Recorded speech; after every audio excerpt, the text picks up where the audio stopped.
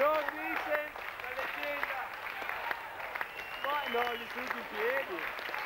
Uau.